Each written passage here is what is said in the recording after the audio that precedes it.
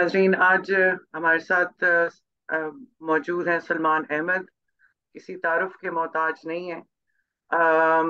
हम लोग काफ़ी अरसे से कोशिश कर रहे थे कि मुख्तलिफ़ शुबा ज़िंदगी से हम लोगों को लें जो जो अपने व्यूज़ रखते हैं जो पोलिटिकली एक्टिव हैं।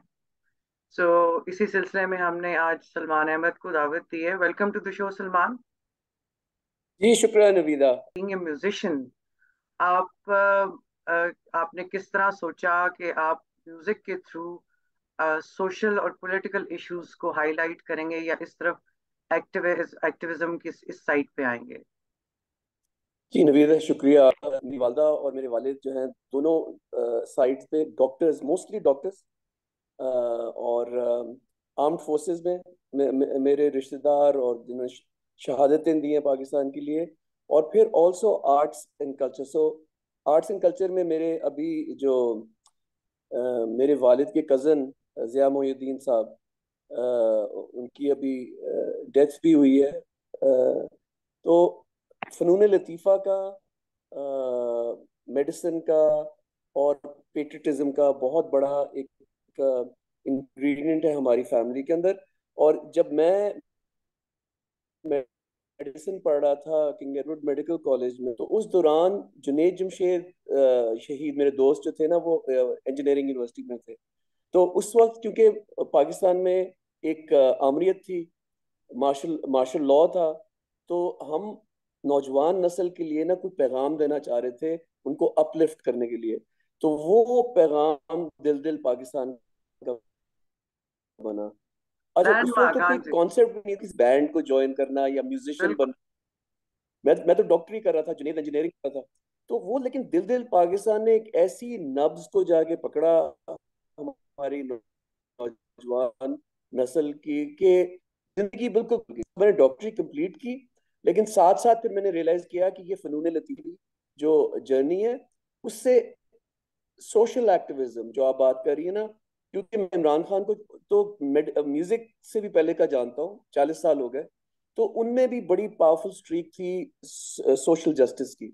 और हम क्योंकि मैं उनके साथ क्रिकेट खेलता था, बांग्लादेश भी गया उनकी टीम में तो मैंने देखा कि वो जस्टिस उनको ड्राइव करती है सोशल जस्टिस ड्राइव करती है तो मेरे अंदर भी वो चीज़ बड़ी पावरफुली थी। वही मैं वही कहती कि दिल दिल पाकिस्तान तो लैंडमार्क है, आज तक जो है ना it was an amazing achievement अभी क्योंकि आप आर्टिस्ट हैं म्यूज़िक के साथ आपका ताल्लुक है, जिस तरह पेंटर्स होते हैं राइटर्स हैं, ये सब लोग बहुत सेंसिटिव होते हैं अपने इर्द गिर्द के एनवायरनमेंट के हिसाब से। और आपने इस साइड पे आप आए थ्रू म्यूज़िक आए। आजकल के सलमान जो हालात चल रहे हैं, आप देख रहे होंगे कि जिस किस्म के पिछले दस महीने में तो खास तौर पे, मगर ओवरऑल जब से आप कह लें कि तीस पिछले तीस चालीस सालों में आहिस्ता आहिस्ता आहिस्ता आहिस्ता जिस तरह पाकिस्तान के हालात जो हैं वो अ, बुरे से बुरे आप कह लें या खराब से खराब होते गए और अब तो ये हालात हैं कि कस्टोडियल वायलेंस हो रहा है इनटॉलरेंस है एफआईआर पे एफआईआर कट रही हैं इन्फ्लेशन जो है वो हाईएस्ट अपनी उस पे है इस वक्त पाकिस्तान में। ये बताइए कि what you feel about it and फिर उसके बाद कि how how you think you can help in in creating some change in the society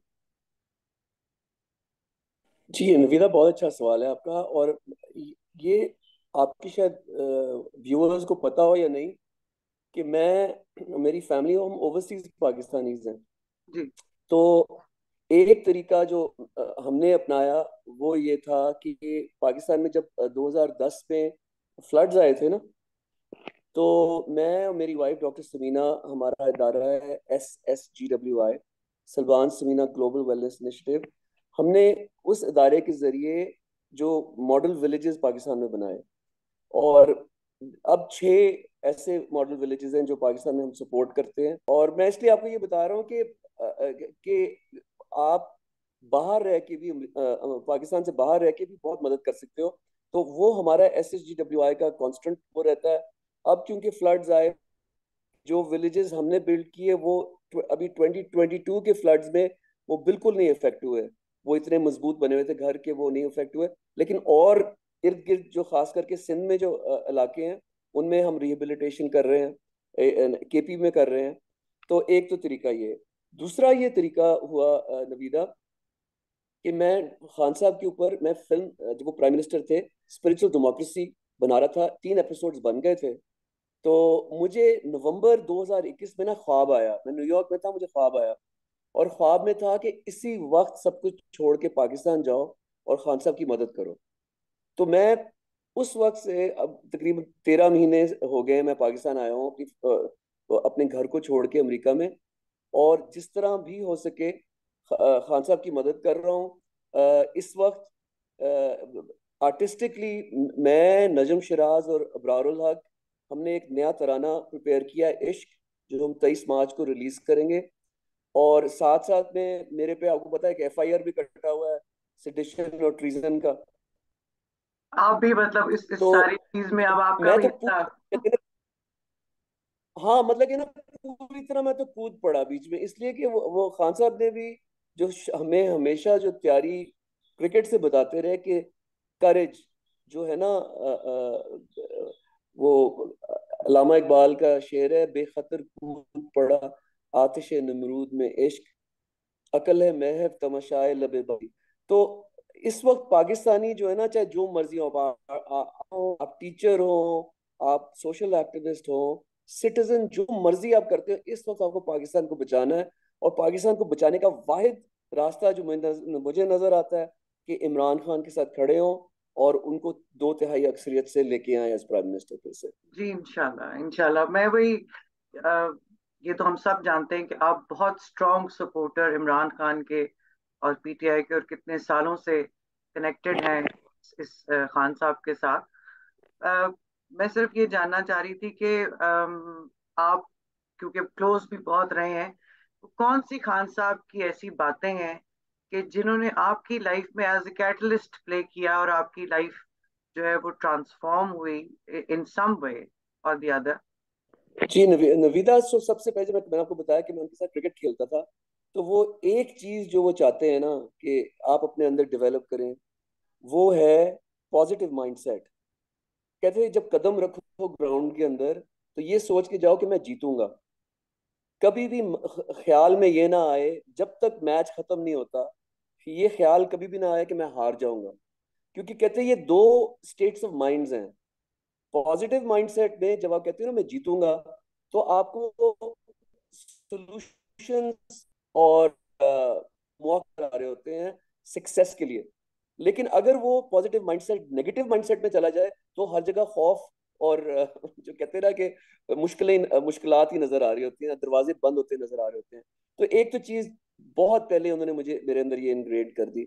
फिर जब उनका सफ़र रूहानियत की तरफ़ आया तो हम बहुत अपने नोट्स कंपेयर करते थे तो उन्होंने मुझे ये बताया कि जो ये इस्लाम जो है ना, इस्लाम पे ईमान, वो आपके खौफ के ऊपर जो है काबू कर लेता है। मतलब कि ना Islam is the religion which abolishes fear और फेयर क्या चीज़ है? ठीक है ये भी समझने की बात है कि दुनिया में लोग फैसला करते हैं या तो किसी पॉजिटिविटी पे या वो अपने खौफ से फैसला कर रहे होते हैं। यानी कि मैं गरीब ना हो जाऊँ, बहुत बड़ा फेयर है। मैं कि गरीब ना हो जाऊँ, मेरी नौकरी ना चली जाए। दूसरा फेयर कि मैं जलील ना हो जाऊँ और सबसे बड़ा फेयर कि मैं मर ना जाऊँ। ये तीन बड़े फेयर्स ना fear of poverty fear of humiliation and fear of death ये हमें ना इनहिबिट कर देती है।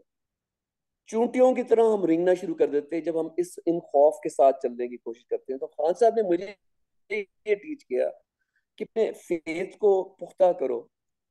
ला मोहम्मद रसूलुल्लाह जो है ना is a password which ignites the heart जब आप ये इंटरनलाइज हो जाता है ना तो फिर आपका ना मरने का कोई खौफ होता है, ना कोई जलील होने का खौफ होता है, ना कोई गरीब होने का खौफ होता है। और ये सबसे बड़े हैं, ये किसी भी आप ज़रूरी है कि आपको ये एज ए सोशल एक्टिविस्ट ये ये समझ आएगी, ये हर फ़ील्ड में दुनिया की आपको जो है ये ये आपको कहते ना कि बेखौफ बेखौफ कर देती है, बिल्कुल। बिल्कुल। मैं यही आई टोटली एग्री क्योंकि मैंने जो अपनी सोसाइटी में जो चीज़ एक बहुत लैक करती हुई देखी है कि हमारी जो हमारा जो कॉन्सेप्ट ऑफ़ गॉड है ना, वो बहुत कंफ्यूजिंग है। हमने इस पे कभी फोकस नहीं किया, जो बातें अभी आप कर रहे थे, ये खौफ और ये डर और ये इज़्ज़त और बेइज्जती और ये मौत का जो खौफ है, क्या लोग इसी सारे चक्कर में लगे रहते हैं? जब कॉन्सेप्ट ऑफ़ गॉड समझ आ जाता है आपको, मेरा ख्याल है ये सब चीज़ें जो हैं वो फिर आपकी ज़िंदगी से ये सारे खौफ निकल जाते हैं। वेरी वेल सर नेक्स्ट मैं आपसे ये पूछना चाहती थी आपने बुक लिखी थी। आप आप ऑथर भी हैं। आपने किताब लिखी रॉक एंड रोल जिहाद के नाम से। सो so, uh, अभी आपको पता है कि रिलीजियस एक्सट्रीमिज्म और uh, खैर सारी दुनिया में ही है। और ख़ास तौर पे पाकिस्तान और कुछ ऐसे इंसिडेंसेस भी पाकिस्तान में हुए कि जो इस इस सारी चीज़ को लोगों ने एक्सप्लॉइट किया। रिसेंट एग्जांपल के खान साहब पे जब असैसिनेशन अटेम्प्ट हुई तो वो जो नवीद है, उसको इस तरह पोर्ट्रे किया किया कि कोई रिलीजियस एक्सट्रीमिज्म का ये बंदा है। तो आपने जो किताब लिखी with reference to your book आप क्या अपने व्यूअर्स को बता बता सकते हैं या गाइड कर सकते हैं कि जो मतलब what should they take home from from your book from your thought and from your philosophy जी, जिस तरह मैंने आपको पहले कहा कि मैं एक ओवरसीज पाकिस्तानी, जो मेडिसिन पढ़ने के लिए पाकिस्तान आया था, और जो मेरे रॉक एंड रोल जहाद का टाइटल मैंने क्यों चूज़ किया? क्योंकि रॉक एंड रोल सिंबलाइज करता है वेस्ट को, जहाँ मैं बड़ा हुआ, ठीक है? और जहाद जो कॉन्सेप्ट है, वो है कि जिस तरह आपको पता है कि अपने नफ्स पे काबू करना जिद्दोजहद करना स्ट्रगल करना और एक जस्ट जो है ना, जंग सोशल जस्टिस के लिए खड़े होना। तो ये वेस्ट और ईस्ट रॉक एंड रोल और जहाद मेरे मेरे शरीर का, मेरे दिल का, मेरे दिमाग का हिस्सा है। तो उस उस, उसमें मैंने अपने इस सफ़र में यह देखा कि जिस तरह मैंने अलामा इकबाल की शायरी को, बाबा बुल्ले की बाबा बुल्ले शाह की शायरी को, सूफियाना कलाम को, जुनून की मौसीकी में मैं लेके आया राइट तो उससे क्या हुआ कि जो पाकिस्तानियत है ना एक जदीद तरीके से हमने एक्सप्रेस की जो पाकिस्तानी आइडेंटिटी को मज़बूत किया यूनिटी का पैगाम जिस तरह कायद अजम मोहम्मद अली जिन्ना की जो फ़िल्म है उसका थीम सॉन्ग मैंने कंपोज हाँ। किया आज़ादी जो है बहुत खूबसूरत जुनून से और इश्क से हम्म। तो वो उससे मेरी क्या कोशिश रही है कि अलामा इकबाल का पैगाम कायद अजम का पैगाम हमारे सूफियाना कलाम जो है वो यूथ को और अब की जो जनरेशन हमारी है उन तक पहुँचाया जाए कि बहुत रिच कल्चर है हमारा। पाकिस्तानी कल्चर एक इनक्रेडिबली रिच कल्चर है। और मुझे खान साहब ने जो फोकल पर्सन बनाया आर्ट्स एंड कल्चर पे उसके लिए मैंने अगले दस साल की विजन प्रिपेयर की है। सो uh, so ये किताब जो है ना अगर आप पढ़ें इस किताब को तो उसमें मैंने सिर्फ़ ये नहीं बताया कि, कि मेरी म्यूजिकल जर्नी क्या थी। मैंने बताया कि हम लोग कहाँ से जिद्दोजहद करके एक गुलाम हिंदुस्तान में थे मेरे वाल, वालिद और वालदा और कायद अजम के साथ खड़े होके हमने हकीकी आज़ादी तो नहीं हासिल की लेकिन आज़ादी हासिल की और अब ये जो हमारा सफ़र है अगला सफ़र इन ताला खान साहब के साथ वो हकीकी आज़ादी का सफ़र है। तो इसमें मैं जो कर सका जो कर सकता हूँ आप भी अंदर अपने से पूछे जैसे बाबा बुल्ले ने बाबा बुल्ले शाह ने कहा कि जाना मैं कौन who am I? What is my purpose? मैं I would like to talk about this concept because uh, आपका जो बैंड है या आपका जो इंटरेस्ट है वो तो तसव्वुफ की तरफ़ है और ये जो बाबा बुल्ले शाह की जो स्टेटमेंट थी इसने बहुत अरसा जो है मुझे आप कह रहे रिसर्च की तरफ़ भी रखा मैंने बहुत प्रूव भी किया वुड यू अंडरस्टैंड बट क्योंकि मेरा अपना इंटरेस्ट है, इसलिए I am asking you this question कि इस इस इस जुमले से आप, आपने क्या सीखा? Because I want to learn to के मुझे जो बात समझ आई है, क्या सलमान को भी वही बात समझ आई है? जी नवीदा देखें, जो दो बुनियादी सवाल हर इंसान के लिए, हर इंसान के लिए मतलब कि वो मुसलमान हो, ईसाई हो एथियस्ट हो, जो मर्ज़ी हो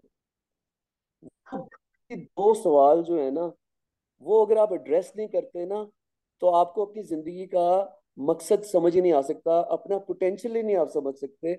और वो क्या सवाल है? मैं कौन हूँ और मेरा मकसद क्या है? सिर्फ़ अगर ये सवाल अब, ये, और ये अगर आप पढ़े इमाम गजाली को या मौलाना जलालुद्दीन रूमी को या शम्स तबरीज या हज़रत इब्न अरबी को, और जितने भी हमारे स्कॉलर्स हैं बड़े बड़े स्कॉलर इकबाल को पढ़े।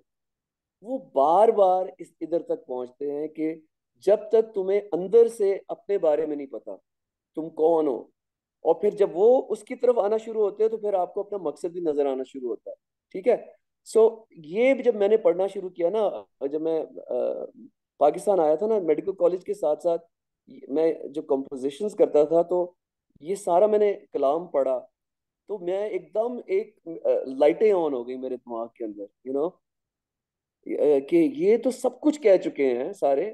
देखिए कुरान और हदीस और नबी पाक सल्लल्लाहु अलैहि वसल्लम की सुन्ना भी, भी अगर चले ना तो उन्होंने भी अब आप अपने आप को डिस्कवर किया स्टेजेस में। चालीस साल की उम्र तक प्रॉफिट मोहम्मद ने कहा था ना कि अल्लाह मियाँ जिसको अपना इल्म देना चाहता है ना उसकी आँखें उसकी अपनी तरफ़ मोड़ देता है।